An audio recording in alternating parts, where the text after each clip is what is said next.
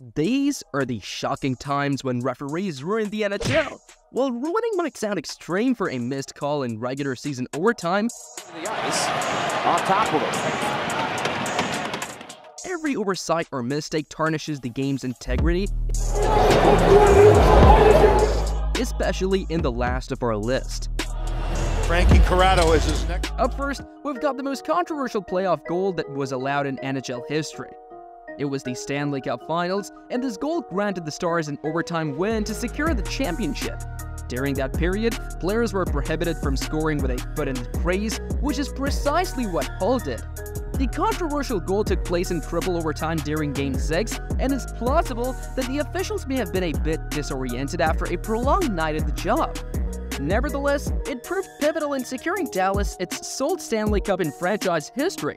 Since then, Sabres fans have endured a challenging two decades with the team struggling to return to the final and frequently facing playoff absences.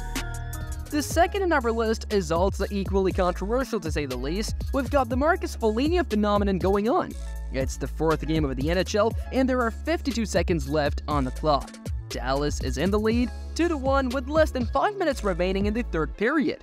Foligno attempts to hit Mason Marchment, but he jumps to avoid the hit, accidentally clipping Foligno in the face with a stick. Foligno falls to the ice, prompting the referees to take a few minutes to assess the situation. Guess what? Foligno receives a tripping penalty while Marchment faces no consequences for the incident. This decision proves pivotal as the Stars score the winning goal during the resulting power play. Foligno consequently expresses frustration, suggesting that this moment might have been a turning point in the series. At number 3 is another notable moment that often finds its way onto hockey blooper reels involving the Winnipeg Jets and the Chicago Blackhawks. In a tied game, both teams headed into overtime where goaltender Ed Belfour attempted to clear the puck. However, a Winnipeg Jet player intercepted it, proceeding to glove it into the net. What makes this incident memorable is the perplexing decision by the referees to award the Jets a goal and declare them the victors. Even today, the play remains both controversial and comical. At number 4, we have the Blackhawks and Red Wings heat up. In a moment that, in the grand scheme of things, stood inconsequential, a call had the potential to alter the outcome of the Stanley Cup for the Chicago Blackhawks. Niklas Hjalmarsson seemingly secured a game-winning goal only for a whistle away from the play to nullify the score. The unusual aspect here is that a scrum between two players, Kylie Quincey and Brandon Saad, unrelated to the ongoing events down the ice, led referee Stephen Walkom to assess matching minors. While it is tempting to look back on this incident with a laugh, it raises the question of what could have transpired if the Red Wings had scored in overtime. Number 5 involves another huge blunder made by the ref when counting a goal by John LeClair as the puck went through the side of the net. This controversial goal occurred during the 2000 playoffs, leaving the Buffalo Sabres feeling cheated. Despite the puck clearly going through the side of the net, the goal was still counted. The Philadelphia Flyers, benefiting from this decision, went on to win the series. However, it raises intriguing questions about the series outcome had this particular goal not been counted. Describing a moment as wild as such an incident is challenging, much like the next one that involved the Nashville Predators. The Predators experienced the consequences of an untimely whistle that ultimately cost them the first goal of the game.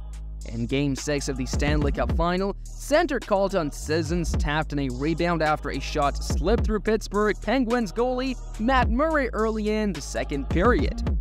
However, the referees promptly called off the goal and convened for a discussion. The faint whistle, partially drowned out by crowd noise, had blown before the puck crossed the goal line. Referee Kevin Pollock had lost sight of the puck despite it being loose the entire tape. Unfortunately, due to the whistle having declared the play dead, it was not subject to review. Pretty weird, isn't it? Same as the controversial victory secured by the Calgary Flames over Vancouver Canucks. In the midst of the typical chaos in front of the net before a goal, the referees usually gather to ensure fair play. However, in this playoff game, there was a contentious moment involving Joel Otto. It appeared that he kicked the puck into the net while spinning towards the goal. The goal in question wasn't a clear or clean one, raising questions about its validity.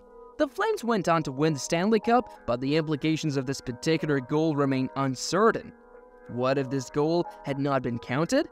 Talking about goals, who can forget the 2004 Stanley Cup final between the Tampa Bay Lightning and the Calgary Flames? The Flames had a golden opportunity to secure the Stanley Cup, but a non-goal call deprived them of this chance, ultimately leading to the Lightning winning the cup in seven games. Martin Gelinas appeared to score a goal, but instead of initiating a review, the referees opted to let the play continue. The controversy lies not in the question of whether the puck was in the net, but rather in the NHL's decision not to review a potentially game-changing play in a Stanley Cup elimination game. At number 9, we have the Wayne Gretzky highly controversial goal, again all thanks to the refs.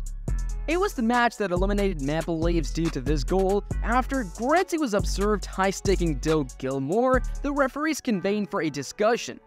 Despite Gilmour bleeding from the incident, the decision was made not to call a penalty on Gretzky, allowing him to stay on the ice.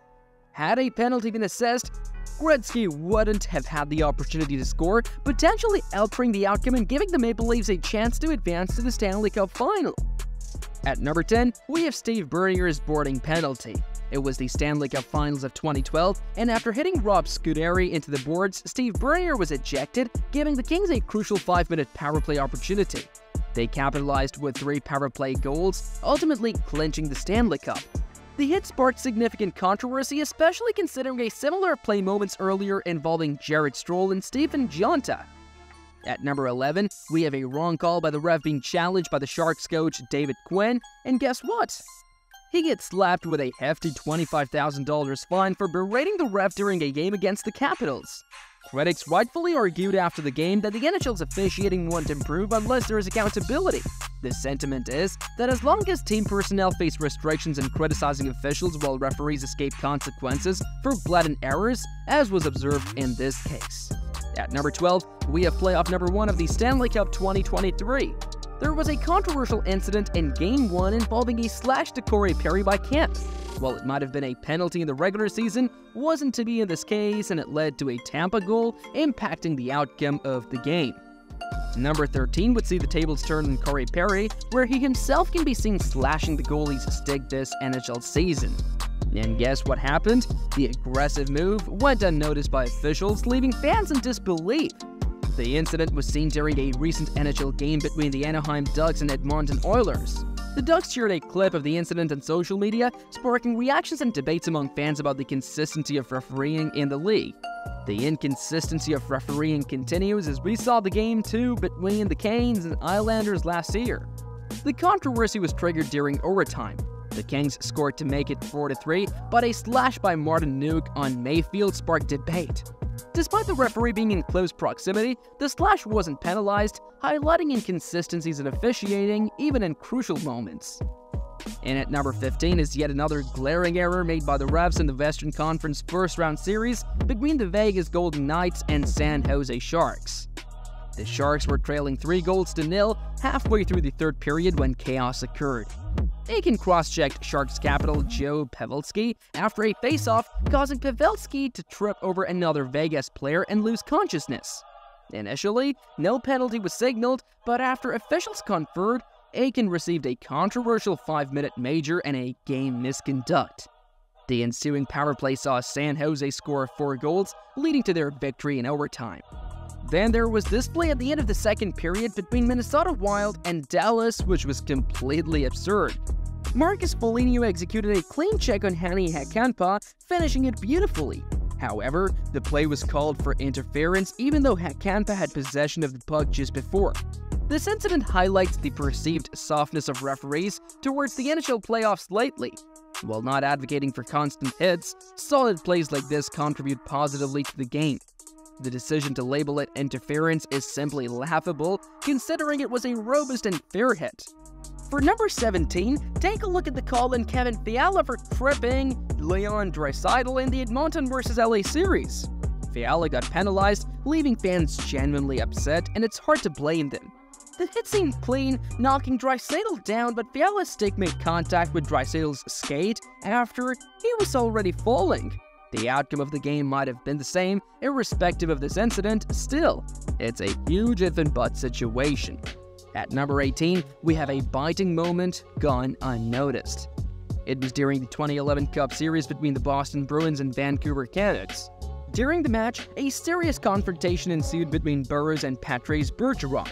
As Bergeron tried to push Burrows, the Canucks player bit down on Bergeron's index finger.